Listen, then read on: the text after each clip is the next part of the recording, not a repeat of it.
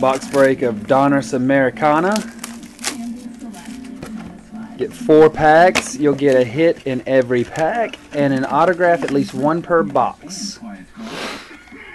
Guys, this is the hobby version, not the retail that you can find in other stores.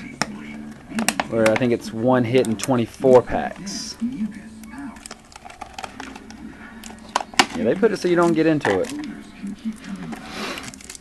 Get one of those one-on-one autographs would be nice. Definitely a step up for Donruss doing stuff like that. Oh yeah, they've been promoting it since August.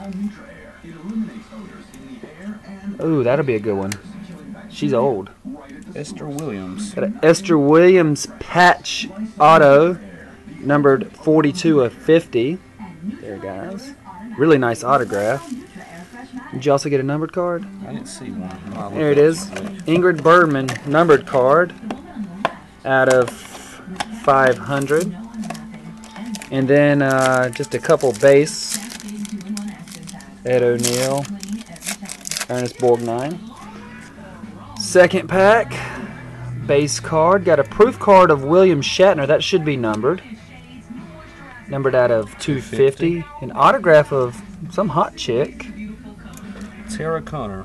Tara Conner.